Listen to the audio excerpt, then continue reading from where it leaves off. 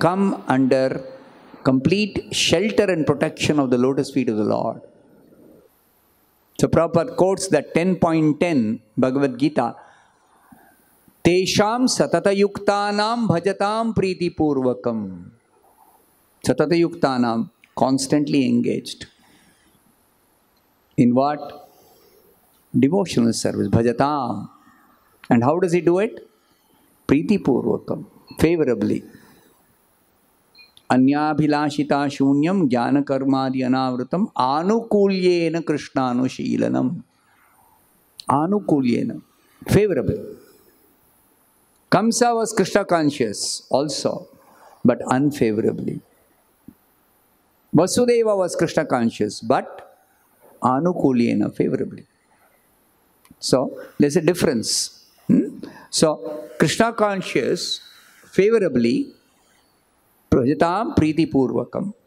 To them, Krishna says, Dadami Buddhi Yogam Tam. I give the intelligence, I give the direction, I give the knowledge. Three different ways Prabhupada translates this Dadami Buddhi Yogam Tam. One place he says, Krishna gives the intelligence. Buddhi Yoga is the direction or intelligence of the Lord in the heart.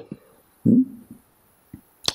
Uh, he also says he gives the knowledge. Here he says he's awarded all knowledge necessary to reach the Supreme Personality of Godhead. Yena mam upayanti te.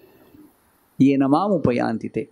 They achieve the lotus feet of Krishna. They come under the complete protection and shelter of Krishna. They're able to reach the abode of the Supreme Personality of Godhead. So, by transcendental achievement, one understands everything else to be insignificant.